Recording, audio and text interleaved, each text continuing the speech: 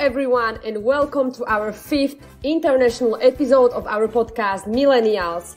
Today is a very special day, and it's not because it's Friday again, then Saturday, Sunday, what? It's Friday again, but because our today's guest is a champion. So sing it out loud with the heart. We are the champions, my friend. Dun, dun, dun. I mean, I need to admit it's quite intimidating to have a champion with us because I'm not a champion and Denise either. So I'm going to start with an easy question. What is the first thing that comes to our mind when we say the word champion? I mean, for me, it's definitely champagne showers, winner's podium, gold medal, crowds of fans, world records and never-ending fame. I absolutely love that feeling because, well, now I'm talking, of course, about the attention. Not that I would ever win anything, because uh, you know I wasn't very gifted child. in fact, I was always the child that would run in the opposite direction and still be kind of slow. Yeah, so. I mean that is. I'm so sorry that I'm laughing, but I remember you playing basketball and trying all the yes. possible sports in the world, and I think you better do podcast. yeah, exactly. I can do some running, but that's because I don't have to coordinate so much. but fair enough. Uh, on the other hand, let's personalize a champ because uh, there are many champs in the world. Like in tennis, we have Djokovic and Federer. In Formula One, we have uh, I don't know Verstappen or Hamilton. In skiing, we have our beloved Slovakian Petra Vlhová and her rival American Michaela, Michaela, Mikaela Shiffrin. And in gymnastics, we have Simone Biles. So champs are kind of admired for what they do in sports, but they're also heroes to many people. And you know the saying, never meet your heroes? Well, we decided to do the exact opposite and invite you, Alex. So we would like to welcome Alex Caizergues. How are you doing? I'm great, thank you. That's good to hear. And nice to meet you too. Thank you. Thank you very much, Alex. It's a pleasure to have you here, yeah. And the pleasure is the following because Alex is champion in kitesurfing, and uh, I'm gonna name all of the achievements that uh, he's achieved since 2006. So let me take a deep breath because that's a long list. in 2006, he was the winner of the French stage of the PKR no PKRA Speed World Cup, vice champion PKRA Speed. In 2007, he was the winner of the French and Namibian PKRA Speed stages.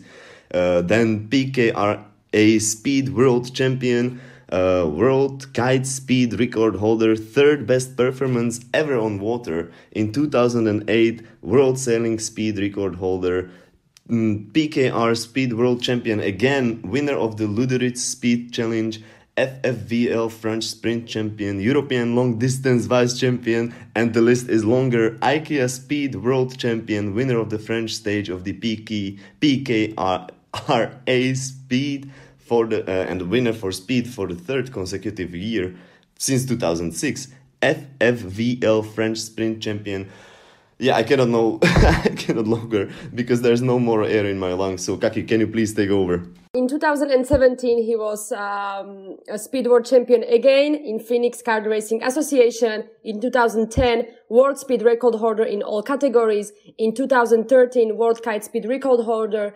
And in 2017, world kite speed record holder.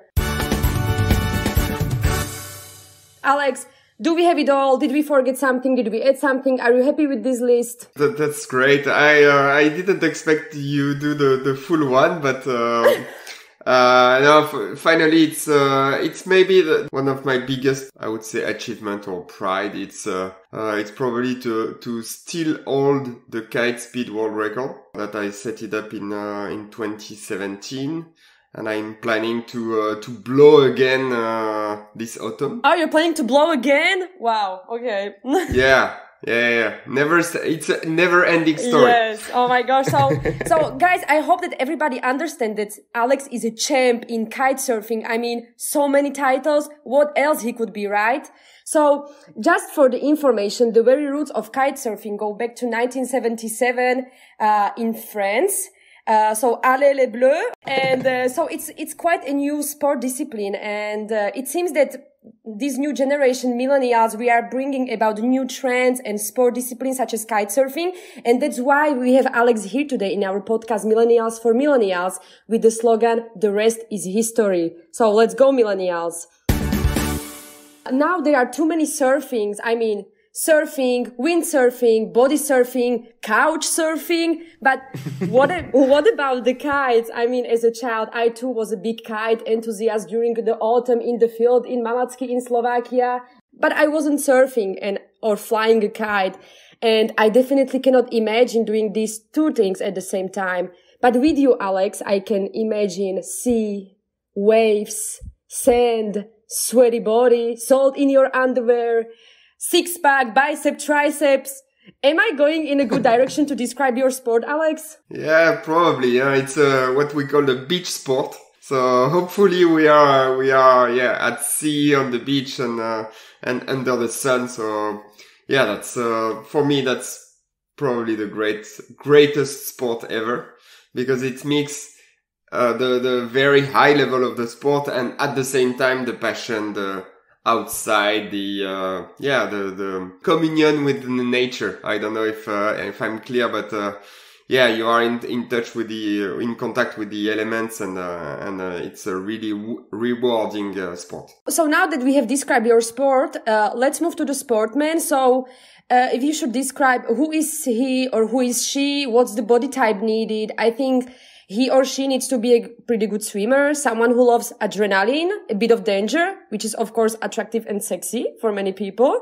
So what do you think? What is it that makes people good in kite surfing? Like, is there a perfect kite surfing body type? Not really. It depends of the, of the, probably of the discipline of, uh, of kite surfing because you have many disciplines. You have freestyle, you have surfing in the waves, you've got uh, uh, speed or, or big air. And uh, we don't have a, a I would say the perfect body type. My main competitor is uh, smaller, but at the same time uh, way uh, way heavier than me, and he's uh, from the US. But no, you have to, of course, you have to be a, a very good swimmer and uh, not scared of uh, of going fast, high, and and yeah. So no, no, no. There is no no real body type. I think that it's a matter of of passion and and yeah, and taking risk measured risk. And now, Alex, a very, very uh, important question. Do you definitely need long blonde hair for surfing? no, no, no. It's probably uh, easier to have short hair. uh, I, I, and I think the, the blonde hair comes just with the sun and, uh, and the, the, the sea salt. So, no, no, no. There is no, there is no mandatory blonde hair, uh, haircut. Because I wanted to say that, that Dennis, he could be a kite surfer. I mean, just because of the hair. yeah, because of the hair. Just because of the hair, you can do it. It's a good start. I should start. Yeah, I'm 25. Maybe it's too late. Just go for it. No, no, no. There is no, there is no age to start kite surfing. No. I started at 20, at 21. So it's pretty, uh, pretty late for a professional kiteboarder. But now the new generation, they are like full on at, uh, at 16. Okay. So no age. And my dad is uh, kite surfing and he's 70, 70, almost 71. Oh, so. okay. So Dennis, we can still be champions. Never too late. yeah. Yeah, but maybe we should start right away because, because those 16 year old are coming for us. They're coming for us. Probably. So uh, maybe like uh, you already said it that uh, with certain sports you're always uh, in contact with the elements like water and the wind. But with sports like surfing and kite surfing, people might think that you're always on vacation, you know, when you're preparing and when you're training for a competition, because you would usually be on the beach, spending your time in the water, in the sand. Does this sound anything like your training routine, or it's nothing like that? It re- it really depends because uh, of course the uh, the professional career is made either or uh, e- either from uh, competition, uh, training, or trips uh, I mean, video, video trips, uh, photo, photo shoots, and, and so on. And of course, the photo shoots uh, and and the trips they are usually in uh, crazy, uh, nice, uh, crazy nice places and with a with a beautiful sky and and it's windy and it's turquoise blue water, etc. but it's just, I would say, a part of the of the of the routine. Uh, because the the training routine uh, when I when I train in uh, in France in February and the water is under 10 degrees and and it's blowing 100 k's per hour wind uh, I can say that the wind chill is just crazy and you and you're just praying to not go in, into the water. Uh, and we are going and we are spending hours and hours. So setting up, uh, either the, the gear, the material, uh, testing new, new boards and, uh, and, uh, and of course training physically. So yeah, uh, it's, it's, it, it can be uh, paradise and it can be uh, nightmares. Hell. Yeah, or hell. exactly. But but of course, the, of course, what we show to to people, to fans and stuff like that, it's usually it's uh, more the turquoise blue water than the the cold uh, and the, yeah the cold weather and the cold water. But how, how many hours do you usually spend a day in the water? Uh, right now it's uh, it's a little bit different because uh, I'm I'm spending a lot of water on uh, on my new project, but uh, but before uh, it was yeah the the, the day is um, the day rhythm is is made because of the weather forecast. So if you're waking up and uh, and it's windy, you go you go training or you go to the beach. And if it's not, you either uh, spend the, the, the morning on your computer uh, uh, writing emails to your sponsors or, or, the press, and then uh, in the other part you go to the gym and do uh, like physical training. So usually you spend you spend tens of hours uh, in the water per week. So it's probably three four days in the water, as much as you can, and then on the not so good day, uh, you go to the gym or, or you spend it behind your computer. It sounds like a full time job that that you spend like ten, Oh, tens yeah. and tens of hours a, a, a week in the water. Of course, it's a, it's it, was a full time job. I would say uh, one of the best. Yeah, yeah. I mean, if it's if it's what you love, Can complain. exactly. Yeah. It, it removed the, the painful part. The passion is uh, is much more uh, much more important and uh, and take uh, a lot of the job. So actually, you already started my next question, but I wanted to ask you if you if you also train outside of the water. Like, do you do some strength and conditioning? Uh, how how how do you prepare, or do you do some some other sports that have nothing to do with the water, like football or ice hockey or something like that? I never been uh, really into sports. Uh, when I was young, I was doing handball or or judo or those kind of sport, but I was not good, and uh, uh, it was not really a passion sport. And when I discovered kite, it has been like uh, yeah, a crazy discover. It just uh, blow blow away my world, and and I was only thinking about kite surfing. It was like a drug addiction. I was like always thinking about kite. How can I go uh, in this place? Uh, how can I uh, try this new kite and stuff like that? So it was not. It was only focusing uh, on kite. So it it has been uh, like really uh, like a discover. A revelation. So that was I, I was not really into sport before kite before kite surfing. And to answer your f- the first part of your question about physical training, you have to because of course when you're young, you just training, you just do specific training, and you go and you go full on kite surfing. But then with the age, you need to do more to straighten your body and uh, and in in order to uh, not being hurt or getting injured and then you off the water for like three months because you broke your ACL. Uh, so this kind of, uh, of stuff uh, uh, is happening also uh, in in a kiteboarding career.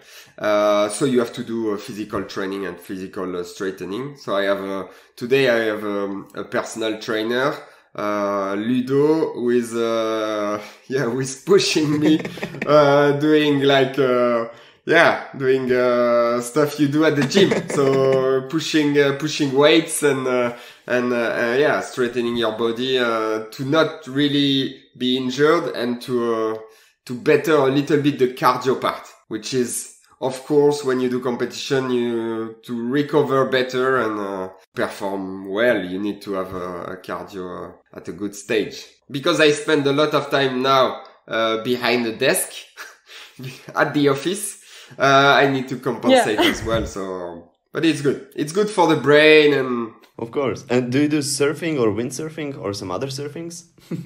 uh, I I do snowboarding. Snowboarding. Uh, yeah, snowboarding is uh, really uh, one of my uh, passion uh, during winter. And then I do a, a little bit of uh, scuba diving, but you cannot really consider uh, this as a sport, but more as a passion. Okay, so uh, actually for this sport, for the kite, for kite surfing, it, it seems like you not only need water, like for scuba diving, but you also need wind, right? So w- w- Yeah. what would be like the per- perfect uh, kite surfing weather conditions? I would say 50 to 60 kilometers per hour wind, Oh my god. and it's not strong. Isn't it? Remember that for my for my record, I need uh, I need 100 kilometers Ah. per hour wind. So you not even go outside your house with that wind. Wow. Uh, but yeah, for perfect, I would say perfect uh, turquoise blue condition. If I got uh, 50 to 60 kilometers per hour, it's just uh, it's just paradise. hmm And and of course, not cold weather, but uh, warm temperature, bright sky, and stuff like that. And waves, And waves. Of course, as well. waves. We need waves. But um, wh- what would be like the the world's top kite surfing destinations in the world? Uh, there are many, uh, many, many crazy nice spots. Uh, I would say my favorite, my two favorites are uh, uh, in the northeast of uh, Brazil, a spot called uh, Jericoacoara. Uh, and it's, uh, it's a pretty, uh, nice, uh, place. You've got wind, you've got waves, you've got sun, and, uh, you've got the Brazil, uh, and Brazilian lifestyle. Uh, it's a kind of a hippie, hippie place. Like the, the hippies from the 70s, they went there, uh, uh, they went there and discovered the place. So, um, uh, you've got a, a small, uh, small hippie community still there, and uh, and the, the yeah the the condition for kite surfing as uh, are are perfect. And the second one would be Los Roques Archipelago in Venezuela. It's a natural reserve uh, in the Caribbean Sea. Crazy turquoise blue water, pretty windy, really nice lifestyle. You can go fishing. Uh, the people are amazing, and uh, and it's not crowded. It's a natural reserve, so they've they've got a maximum of people uh, allowed on uh, on the island. Yeah, it, it cannot be crowded. So if you if you look at uh, if you Google uh, those places, uh, you will see some uh, some pretty nice pictures. Nice. And has it ever happened to you that the wind took you really, really high up uh, in the air? Yeah, I think my uh, my record must be uh, over 20 meters Up in the air. high. Woo! Yeah, up in the air. That's like a whole building. Yeah, seven stairs uh, building. Uh, but it's not, but it's not the record. Now, uh, now people are going, uh, over 30 meters per hour. So, yeah, that's, uh, that's what our sport can bring.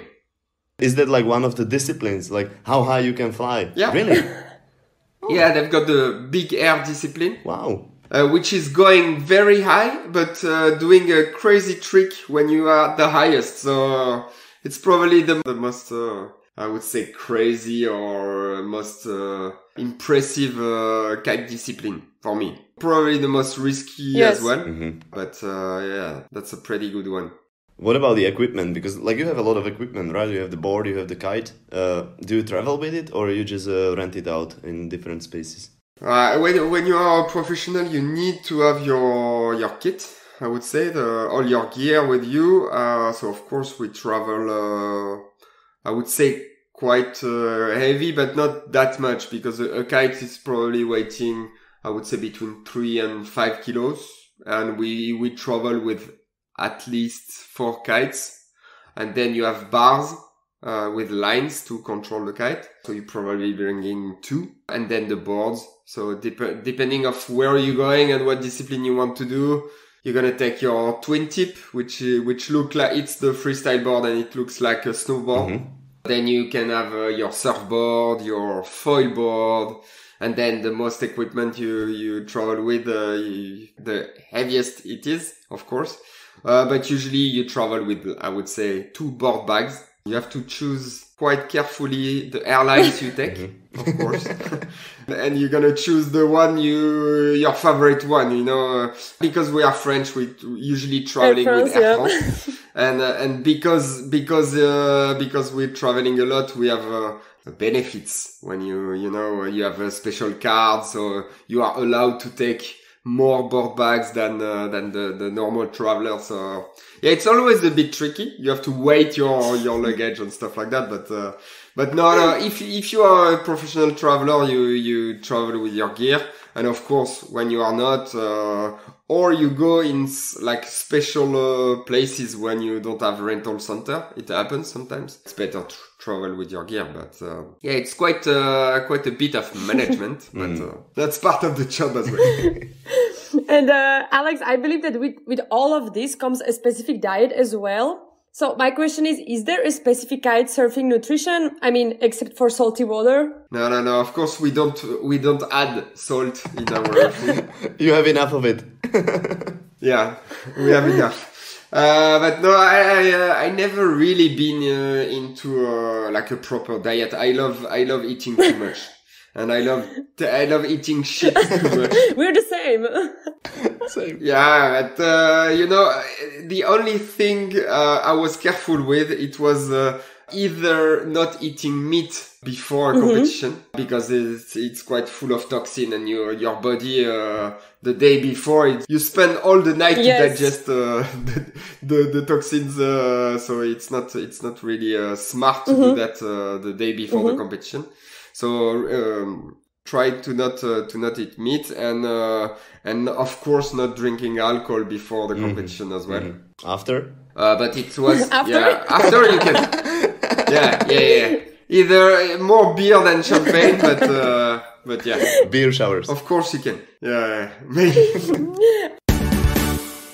Alex, it, it appears that the envir- environment from which the sportman or the sportwoman comes from influences a lot of their career. For example, our skiing superstar Petra Vlhova comes from high Tatras, from, from the mountains, and she's constantly high. I mean, on the winner's podium.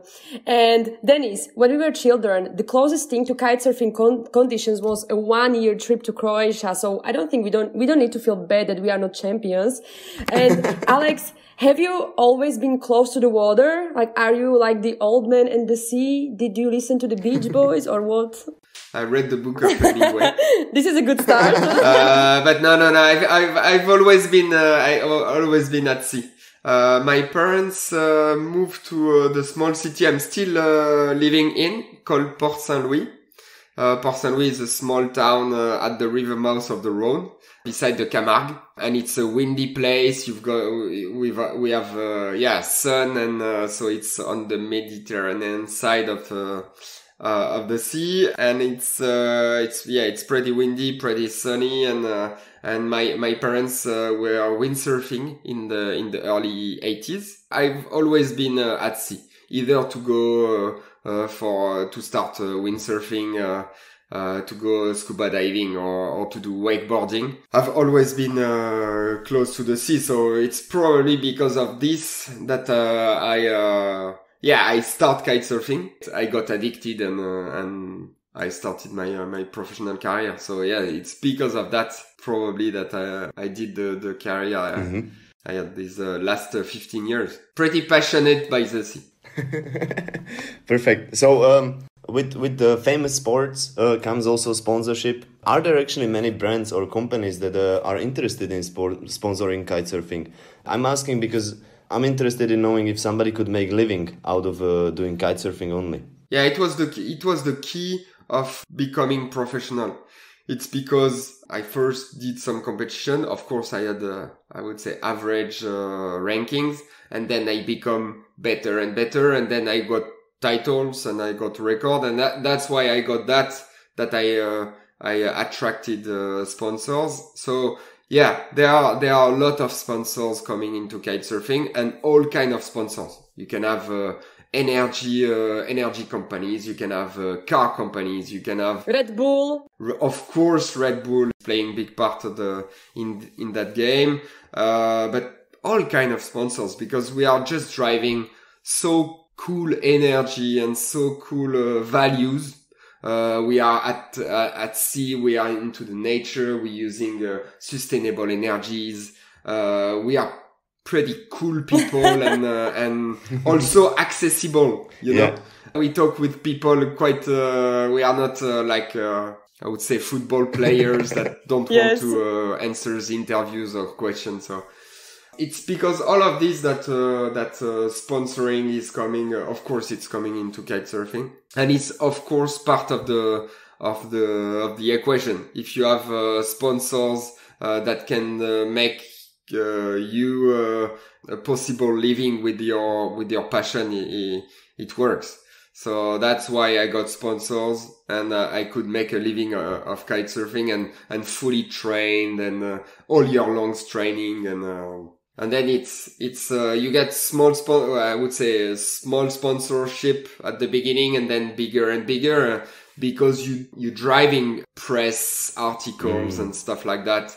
And you, you show the sponsor, the, the logo of, of the sponsors into the, into TV's interviews so that's why you can you can get all the bigger sponsors and stuff like that. So and make a living. Nice. So let's talk about kite surfing again. like we have ever stopped. yeah, exactly.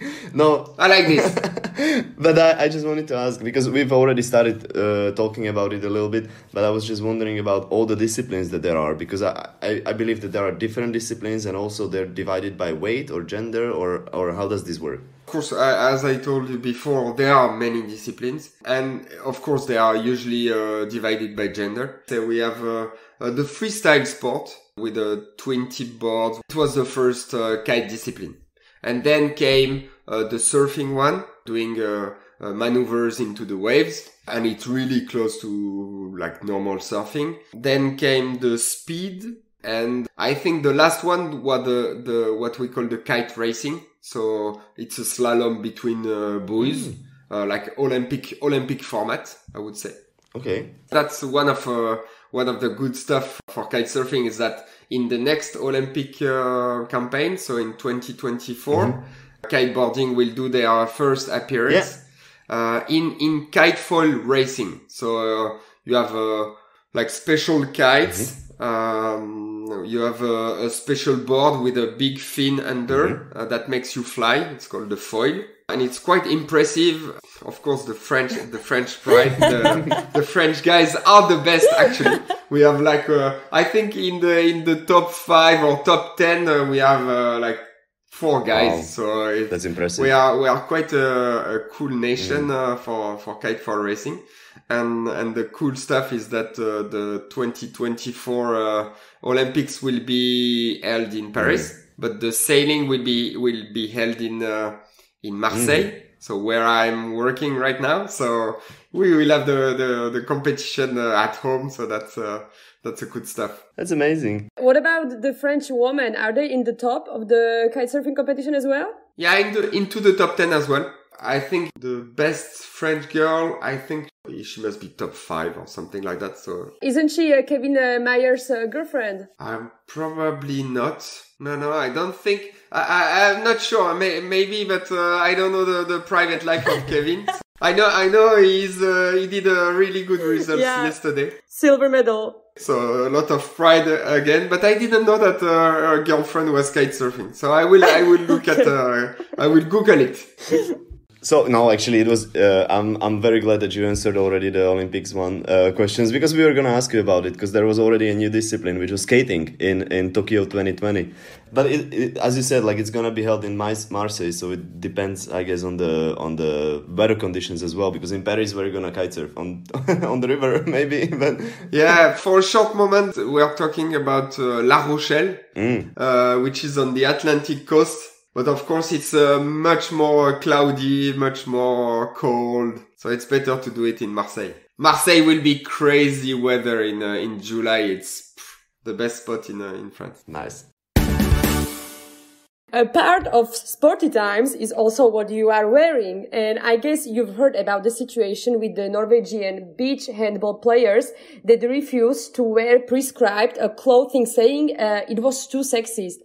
Uh, so Alex, what do you wear when you're kite surfing? And have you ever thought about sport clothing in, in such a way, like it's too sexy, or I'm showing too much, I'm, I'm, I'm, or I'm covering too much? Like, have you ever thought about it, or you just don't think about this stuff like this? Uh, we, of course, uh, we are, we are at the beach, so it's quite, uh, I would say the board, the board short style is quite important. and the, the, the very important stuff is, uh, either you wear your board short, uh, over uh, or under the uh, under the knee. That's the only thing uh, it really matters. Uh, but to make it short, uh, for the the wearing of uh, of swimsuit when you do volleyball, volleyball or handball, it's they must have the possibility to wear just joggings if they want, you know. I, I really cannot understand the problem and, uh, and I really blame the, the, the international federation that just don't say, uh, hey girls, you can, you can wear whatever you want and whatever you're comfortable with. Exactly. For me, it's just uh, unbelievable to be, uh, to, to have a problem here. But uh, now for us, to be honest, I, I, uh, I would say 60, 70% of the time I'm wearing a, a wetsuit. Uh, because if you spend hours in the water, it's uh, really hard to be just wearing board shorts and a t-shirt or lycra. But now the, the, the problem of uh, wearing, uh, uh, we don't have a, wear problem. Uh, it's just some places when you don't want to get sunburn all on your body and you're wearing like long sleeve shirt. That's uh, that's the only stuff. Especially in Los Roques uh, in Venezuela, where the water is so uh, so turquoise, the sand is so white that you you you can get sunburned under your hands. Ah, okay, wow. And uh, that's that's just crazy. So you have to really be protected. And you've got the fishermen there, and uh, we learned that uh, from from them. They they're wearing like um, like masks or something. Yeah, a mask, but li- like a lycra mask. Uh, you you can wear it in a snowboard in during winter because it's too cold. They've got exactly the same thing, but with the lycra, and they've got a hat, so they just have and wearing glasses, so you've got no part of your body exposed to the sun. And more, and you you will see a, a lot of guys in kiteboarding and especially in kite racing, they're wearing those ma- those masks uh, because of the sun and uh, and the the reflection of the water, uh, and uh, it makes a huge difference to protect uh, your your skin. And yeah, I lost I lost uh, quite a bit of years in my sun capital. we call this, you know. My skin took way too much sun during my career, so now I have to be even more careful. Tokyo Olympic Games will be soon, very soon over. When this is uh, going to be out, they will be very much over. but uh, but this year we have uh, witnessed in gymnastics uh, Simone Biles, who has uh, announced her withdrawal from all the competitions. Uh, but she was actually very open about the fact uh, that the reason why she withdrew was mental health and mental mental pressure, and the whole world was on her shoulders. And um... and meanwhile, COVID was watching from far, saying, "No, it's on my shoulders." yeah, COVID was like, "Am I a joke to you?" No, but uh, enough of jokes. Like it's a serious topic. Uh, I, I wanted to ask, uh, how, did you experience any of this uh, mental pressure and uh, maybe maybe some sort of uh, uh, problems or what do you think about this? Do you, do you have some sort of opinion? Yeah of course uh, i never experienced what uh, simone uh, had in her past so for sure i, I cannot be uh, i cannot be in her mind and and i completely understand that that those kind of pressure it's can it can really affect your results and your your passion or uh, or just the passion to go on the on the field. So I, I fully uh, understand and the the competition is of course uh, the mental part is uh, is always playing in the result of the competition. Um, the mental preparation is a part of the game. The pressure you put on the on uh, on your opponent, it's part of the game. Of course, the pressure you put on your shoulder uh, it's part of the game. So it's for me, it's quite difficult to compare to those kind of sports uh, that are like hyper exposed. For us uh, in kitesurfing, it's it's quite we are uh, really a niche sport. So we don't have as many fans as uh, Simone got. We don't have the same kind of uh, media exposition that they got.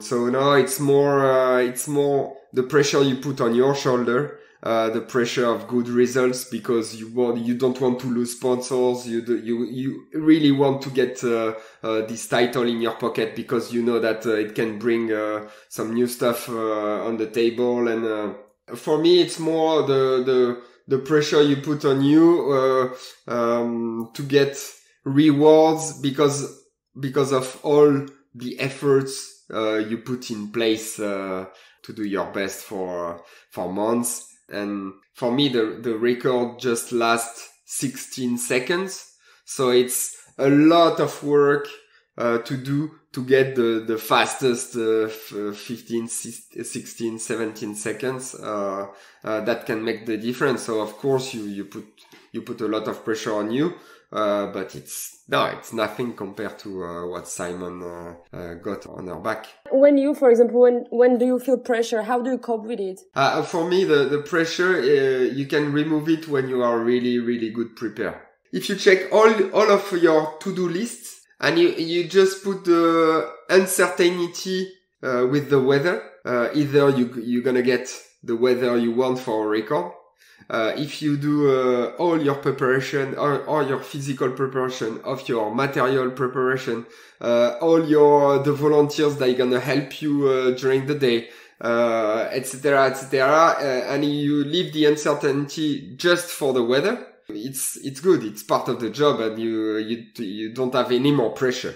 if you feel you are ready for for the day, it's the best preparation you can have. But do you have a, do you have a mental coach or somebody somebody to talk to? Because you know it's a safe space. You can be very honest. You can tell us anything. I go to my grandmother whenever I need to talk. If you need to talk to her, I can give you a number. She's she's gonna be she's gonna be very helpful. I promise. That's nice. That's nice. That's nice. But uh, yeah, yeah, I've got my dad.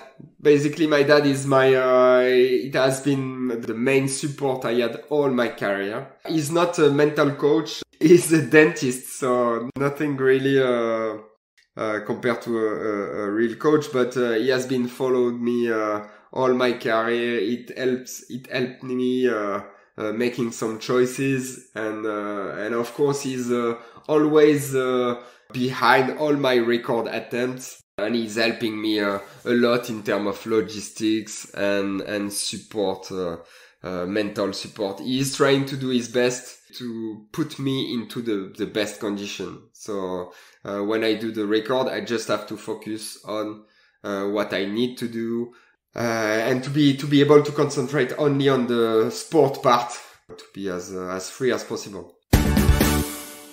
Do you think that climate change is gonna uh, affect your sport, or if so, how? Of course, uh, I think climate change will will affect everyone. So it will probably affect my sport but it's if it's if it could only be my sport i would be very happy but uh, but no the, the climate change affect uh, affect everything and everyone probably in changing of uh, maybe the the windy season in some places where i live we had we have the mistral wind uh, which is very famous and it's blowing all year long and in the old days the old people they were saying that uh, it sometimes the mistral was blowing 3 days and if it blows more than three days, you said, you said that it's gonna last seven, seven days. So a week.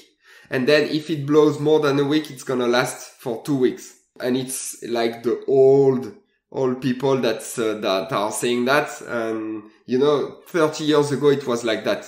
But today, Mistral winds, sometimes it's blowing one day and, and never more than three days uh, in the row. So we know that uh, that seasons are changing and stuff like that. So it's it's quite uh, it's a bit scary. And of course, where I live, I have uh, we are really uh, at the at the sea level, and Camargue is a very uh, flat land. So if the level of the sea rise for I, I don't know 50 centimeters, for sure we are under this we are under we, we will be flooded that that's a that's a bit scary and um, it will affect for sure all the water sports and, and uh, all the out uh, outdoor sports in in general alex i have a question that i wanted to ask the whole interview. My family and i would go to the lake each summer since i was a little girl and for me my whole life i was so scared that some sort of catfish and not the one on tinder is going to grab my leg and drag me under the water And I'm talking about the lake in Slovakia, so I cannot imagine how it must be in the sea or in the ocean. So do you also keep a lookout on animals like uh, sharks, jellyfishes, or, or orcas? Like, are you scared of these animals or are you just in balance with the ocean and zen on kitesurf and stuff? That would be uh, lying to say that uh, you are always zen. uh, for sure, it depends of the of the places you are kitesurfing. If you are kitesurfing in Cape Town, so in South Africa, uh, you know that there are sharks. To be honest, I never witnessed a, a shark in uh, in in South Africa. So uh, except in the in the cage, you know, in Gansbaai where you can uh, dive with sharks. Uh, but it's the only only time I saw sharks in the water in uh, in South Africa. But you know that they are there. There have never been a kiteboarder attacked by a shark in South Africa. So of course there have been surfers attacked by by sharks but never kiteboarders. You're too fast. uh, too fast, but sometimes you swim. Huh? Oh. Sometimes it happens to me to swim like for one hour and a half uh, to reach to reach back the shore. I'm telling you, I was I was really scared about sharks. But how do you swim with the kite? Uh, and sometimes the wind drop and the kite drop into the water, so you have to swim back. You have to swim back to the to the shore. So it happens sometimes. And uh, I promise you, uh, I did a, I, I record a video on my GoPro. I was swimming and I was like, dude, my parents, I love you guys. Uh, if someone uh, recover this GoPro, blah, blah, blah. So that was, no, that, that, it happens to me once. So, but the, the only big fish I saw in, uh, in South Africa was, uh, uh, sunfish. You know, like we call this moonfish in, in French uh, poisson lune, but uh, but like big one. I would say two meters diameter. So it's monster fish. But they are so cool. They are so nice and uh, they are the, the nicest fish ever. They, they, they are quite slow and they have a, a huge eye that look, uh, looks at you. Um, but they have the same fin as a shark. Okay. So the only th- the the only fin you will see in South Africa when you kiteboarding, it will probably be uh, a sunfish. Uh, and, I, that's that scared a lot of people. But I love to go the, to go and check uh, and check those fishes because they are like the the coolest fish ever. So and they are quite it's quite impressive. So you do have a favorite fish? yeah, yeah, but not to, not eat. to eat. just to look at. These these kind of fish, you just uh, you just uh, look at them and uh, and try to uh, to exchange with them. And it's it's quite it's quite funny. So now we're talking a little bit about the dangerous stuff. And uh, was breaking the 100 kilometers on water the most dangerous or the, or the most terrifying stuff that you've done with kitesurfing? Or uh, did you have some some some even more dangerous uh, stories to tell? No, I I think of course the the 100 kilometers per hour it was. Uh... I cannot even imagine it.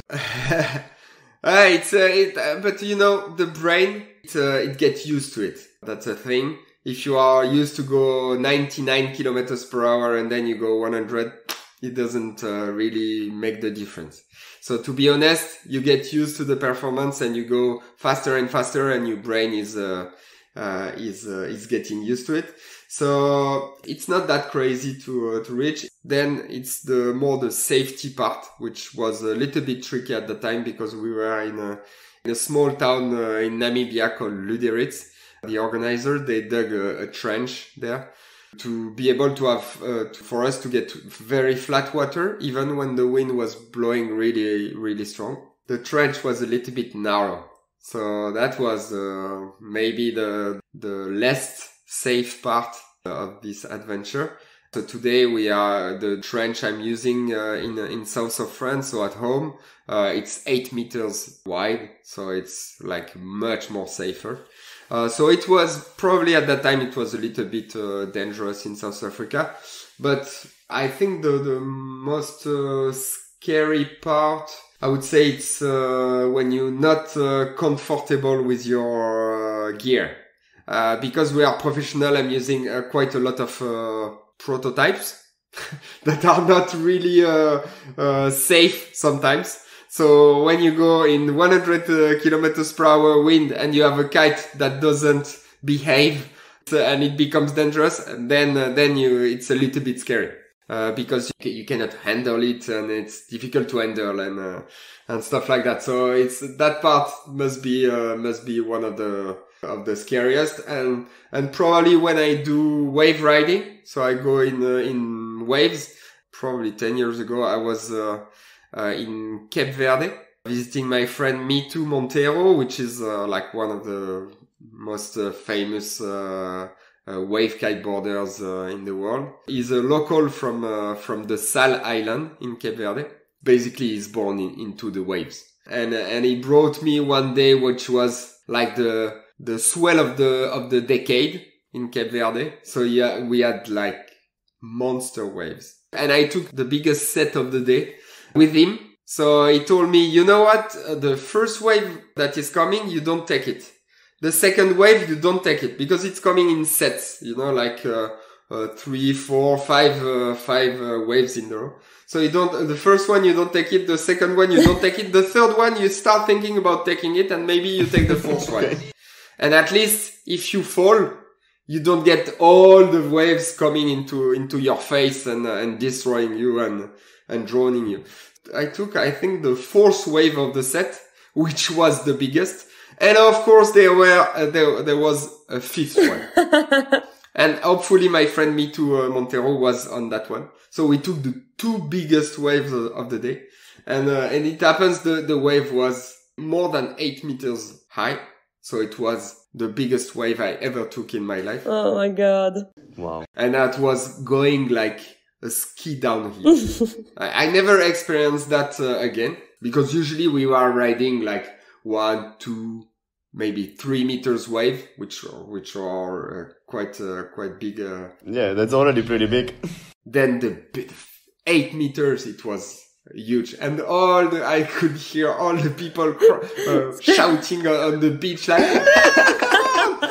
and that was yeah, that was a little bit scary. So I did like a straight line uh, downhill, and uh, and my friend Mitu was like destroying the wave after me, and it was yeah one of the probably one of the coolest uh, coolest experience I ever had in my life in in kiteboarding, but at, at, the same time probably one of the scariest. For how long did you ride the wave? It didn't last uh, long. Uh, it was uh, maybe ten seconds or something like that, just going like full fully down. But I got the coolest picture ever. Can we find it somewhere? I want to see the picture. Yeah, yeah, I will, I will send it to you. Please, I want to see the picture. Okay, so Alex, uh, is there anything on your CV that we haven't talked about yet? Well, except for the whole list of the of the championships that we have named. Is there anything on the CV that you would maybe like to talk about? Because we also know that you're not doing doing only uh, kite surfing, but other things. Yeah, uh, maybe because uh, I um, I launched uh, a project called Sirocco in 2019, so two years ago in Marseille again. And the idea of Sirocco was uh, the the idea behind at the beginning was uh, how do I get back the outright world sailing speed record? Because right now I have the second best time ever on water using my kite. Uh, it's still kite surfing world record. But today we have a boat called Sailrocket, driven by an Australian guy, and it's the fastest boat ever on water. He's, uh, I think his record is 121 kilometers mm-hmm. per hour on a straight line. And uh, when he set it up his record in 2012, we were yeah, just a bit more uh, faster than 100 k's per hour with the kite. And I knew since that date, I knew that uh, it was impossible to get back the record using simply my kite. You know, it was too dangerous. It was uh, uh the the kite is a uh, it's a really fast way to break the record, but it's it won't be the fastest anymore. Uh, so I had to be in a in a cockpit, protected by a cockpit to be really safe, and using a new concept to go really fast.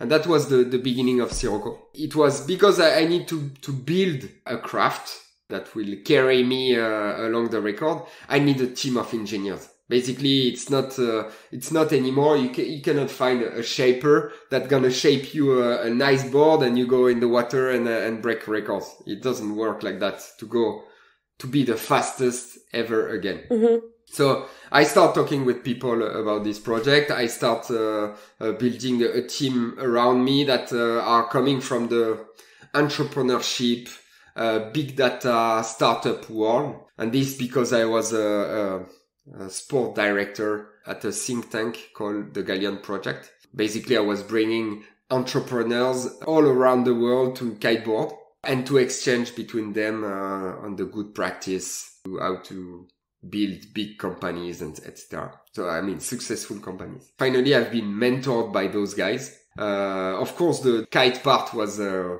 really cool. I was uh, helping them becoming better, uh, etc. But they were also coaching me becoming a, a new kind of entrepreneurs because for for them that was the funny part is that for them uh, I could consider me as an entrepreneur. For me, it was not the case. I was doing my doing my stuff and uh, and getting my record, getting my sponsored, etc. But I was not I was not considering myself as a real entrepreneur. And uh, and finally, I've been coached by them. Talking about my project of uh, uh building a speed craft that will uh, blow uh, the, the the sailing speed record, etc. they told me, you know, in we can help you uh, we're not gonna help you uh, uh, on the marketing on the, on the on the sports side because you are probably the best one to do that.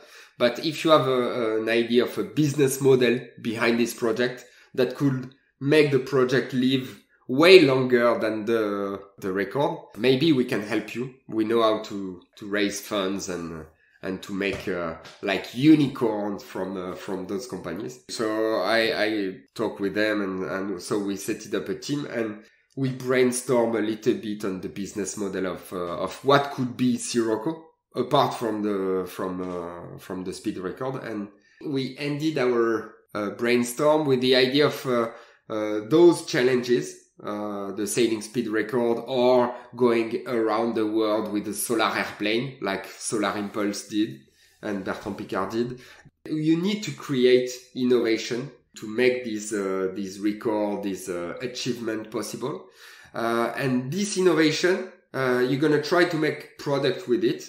Uh, to help the maritime transportation, for example, the maritime transportation becoming greener because we are all passionate by the sea. And those this this universe of maritime transportation they didn't make their ecological transition. We know that uh, the impact of maritime transportation is getting uh, bigger and bigger on the planet and they need radical innovation to to make it uh, more sustainable and finally, we're going to use those kind of challenge, the speed record the project, but also launching new challenges with Sirocco. We're going to use those challenges to drive innovation and breakthrough innovation.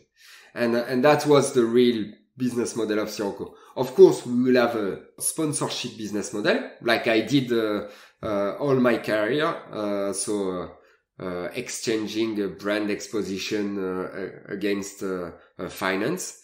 Uh, but also we will have a business model of uh, products that we're gonna launch. Uh, we're gonna sell it to maritime transportation world and, and make it at the same time. it, it will be a real business model. We will get money from that. Uh, we will get investors and those people, they will think about uh, our project like a driver of, of profits. but at the same time, profits for the maritime transportation transition.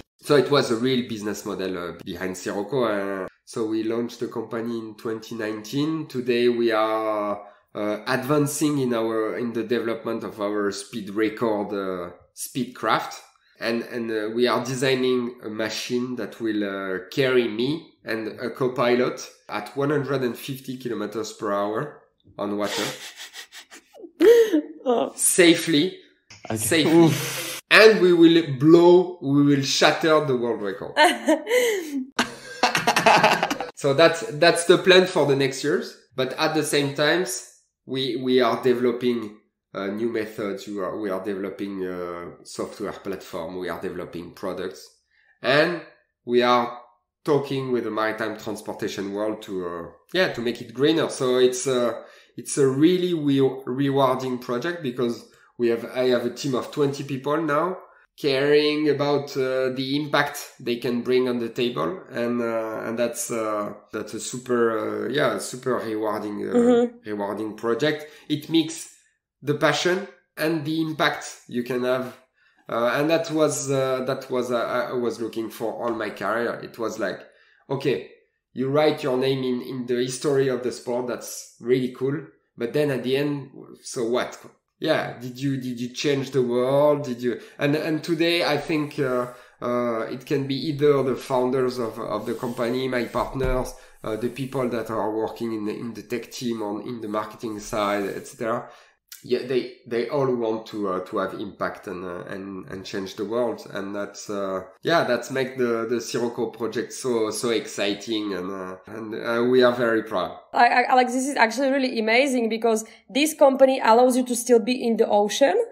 And you also can use the knowledge and the skills that you have acquired during your kitesurfing years in business. So yeah, what else? I mean, it's perfect. You have the passion, you have the business, you have everything. Yeah, it's cool. It's a good transition from a sports career to uh, what you can bring into the world, and uh, yeah, and try to make change. Yeah, exactly. So Alex, you, you have a very colorful life. You never stop working. You're a hardworking man. Uh, you hold many, many, many titles, but you're still very young. Do you have do you have mm, any other things on your list of things you still want to do? Apart from the company, apart from the sports, do you have still like I don't know, I want to climb Kilimanjaro or, or something? Do, do you have some other plans? Uh, first, I want to have baby. Ah, okay. Yeah, so that's the plan right now. We are expecting with my uh, with my future wife. We are expecting uh, Congratulations. uh, a kid uh, for yeah November December. So I will have a we will have a, a, a pretty packed uh, end of the year. Uh, pretty busy. It will change your life, yes. Ah, it will change. Uh, yeah, it will change uh, our life uh, a little bit for sure. A new record, a new kite record, end of uh, yeah, approximately the same uh, the same time. So I would say uh, November. November will be very packed. Uh, new kite record, and then next year, uh, next year the record uh, with uh, with Sirocco. For sure, there are many places that I, uh, that I would love to visit. I really never been to Asia. Uh, that's probably the, the yeah the only part of the world that I didn't uh, that I didn't visit. Recommended. it. I really miss. I'm, I'm sure. I'm sure it's. Uh, of course, we saw many many videos, many articles, and uh, and there are many places, very very different places that uh, can change your life. Be careful because I got the food poisoning in Asia, but Ah. it's it's a very beautiful place. Me too. I think everybody did. Of course, but you can get uh, you can get food poisoning almost everywhere in the world. Huh? I've, I've got my friend, uh, my my partners who, who got uh, like a sushi infection in in south of France. So you can have uh, food poisoning everywhere in the world.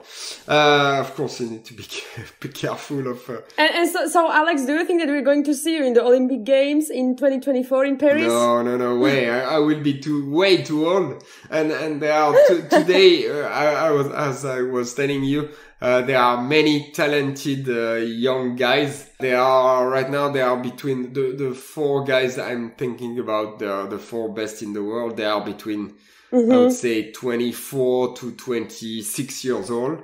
There will Okay. be around 30 years old, uh, for in 2024 and they are like way way better than me in the, in that discipline. So i leave them the the, the place. Maybe i will be a commentator. Who knows Nice. uh yeah maybe but um but no no no i leave the the, pla- the place to young people I think you already did enough. yeah, you did so much for the sport. yeah i did my part of the job yeah yes, exactly.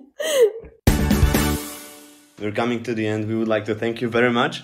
But before we end, we have one question that we ask everybody. And um, the question is what would you recommend to our listeners? Maybe something to watch, to listen to, maybe something to try. Would you recommend kitesurfing? I guess yes.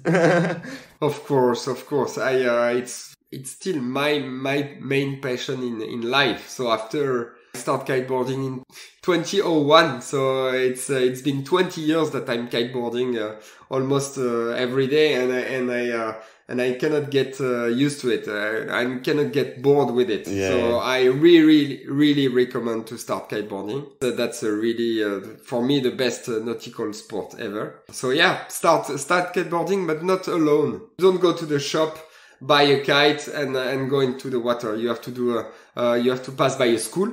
So this is the main recommendation: is uh, go to a kite school. Uh, we have uh, a lot of kite school in France, uh, but all over the world. Uh, so go there, uh, learn how to kite, and, and then enjoy. Yeah, and uh, and read the book The Old Man and the Sea. Yep. From Hemingway. Just in case you are stuck on a boat. No. yes. Perfect. So thank you very much again. Thank you, Dennis. Thank you, Carolina. Thank you, Alex. It was a pleasure. Seriously, like. I- Yeah, same.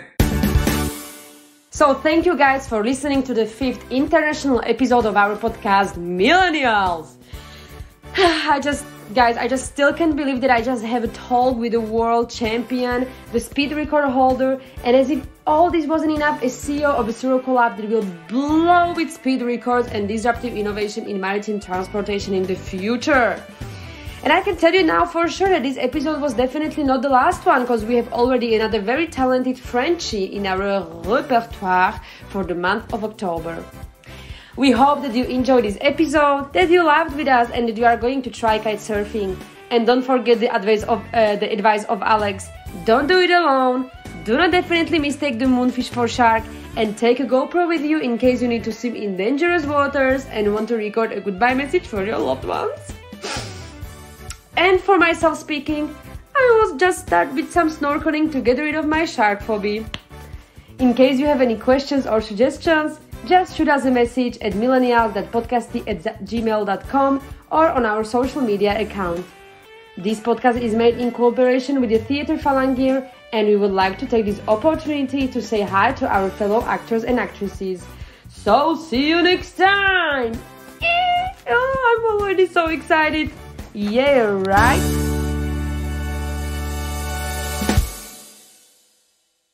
We are the champions.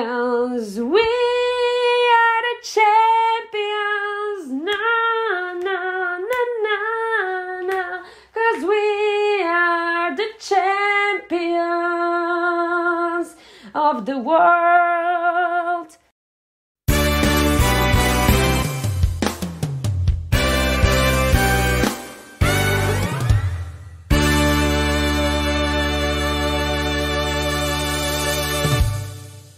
Denise, I really want to be a champion.